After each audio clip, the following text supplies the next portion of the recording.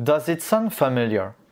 You want to monitor how your website performs and how it's ranked on Google. Or maybe you want to monitor what your competitors do. What kind of keywords do they get? And how good is their SEO? You want to collect all this data day by day, week by week, month by month. You can have a perfect overview of your SEO thanks to web scraping with Octoparse. It's a free tool. The link to download it is in the info box.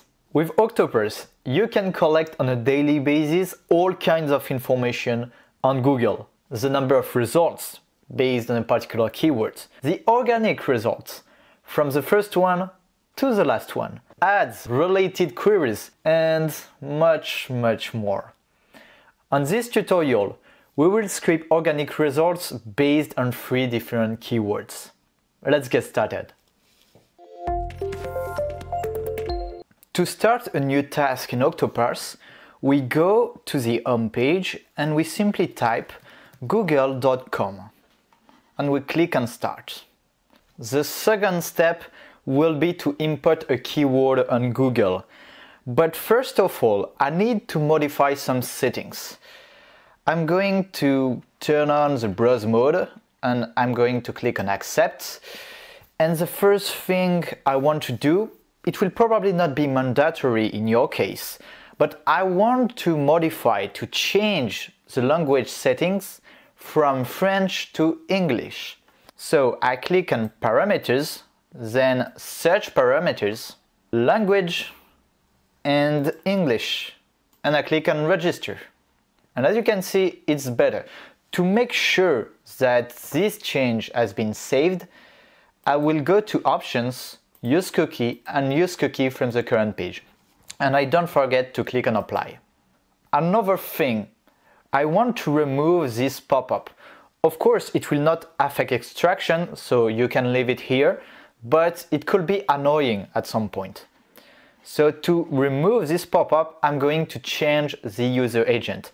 If you want to know more about what a user agent is, you can check our blog article in the info box. I click on the task settings, then I'm going to change the browser from Chrome 76 to Chrome 77 and I click on save. One, two, three, ta-da! Okay, it's much clearer. Now we can input our keyword.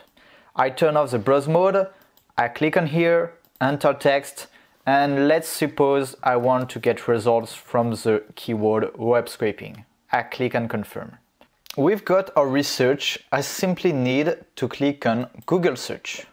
Click button, and here it is. We've got our results. Once again, I need to modify some settings before moving on. In that case, I will click on the click item part and I'm going to make sure that I open this page with Ajax.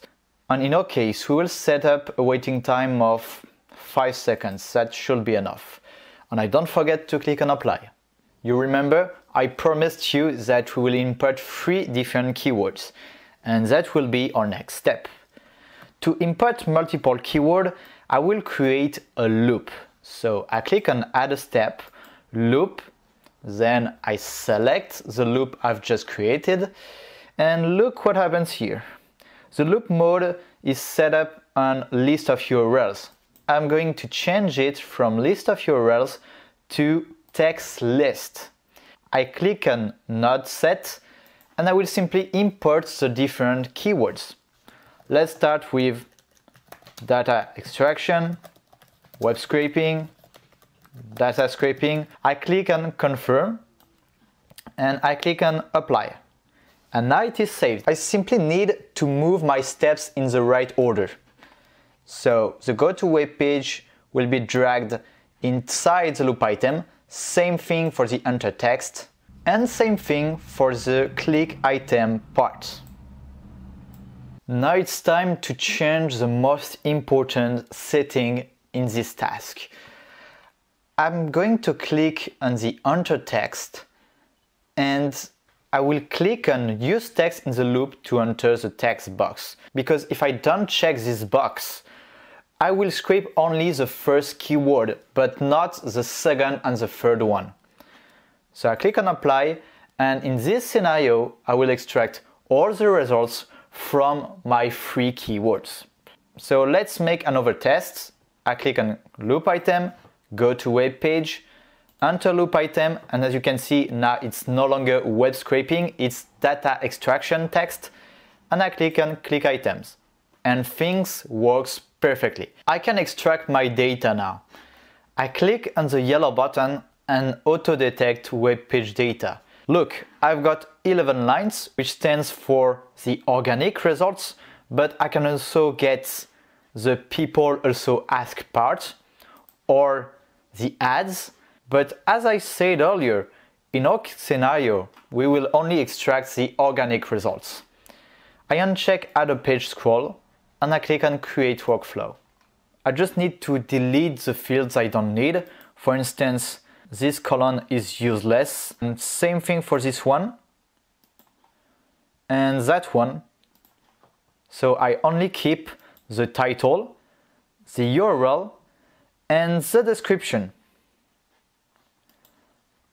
So I delete this column too, and I will type description. You know what is the biggest mistake beginners usually do in web scraping? They tend to scrape data super fast. And it's a mistake, particularly if you want to scrape data on Google. Because if you want to scrape data too fast on Google, you will encounter the CAPTCHA reCAPTCHA issue. And in order to avoid it, we need to slow down the scraping speed. So I click on the extract data part, I go to options, wait before action, and let's say I set up a waiting time of 3 seconds. Same thing, I click on apply. It's a really simple step, but please don't forget to apply it. Our task is almost over, but I want to add a little something right now. I want to scrape the page URL because remember we want to scrape three different keywords. So in order to avoid confusion, I will add the page URL. I click on add custom fields, page level data and page URL. And that's it, it's really simple. Congratulations if you are still here at this part of the video, because now your task is over. We just need to save what we have done and to run our task. So if you have the free version of Octoparse, you can click run on your device. And if you are a premium user, you can click run in the cloud. It will do things a little faster. We've got 680 lines, so for three different keywords. I click on export data and I save my file in an Excel spreadsheet. And here is your result. Hope my video got your confusion cleared away. Please give it a thumbs up and subscribe to the channel for more videos regarding Octoparse and web scraping. We will always keep you updated.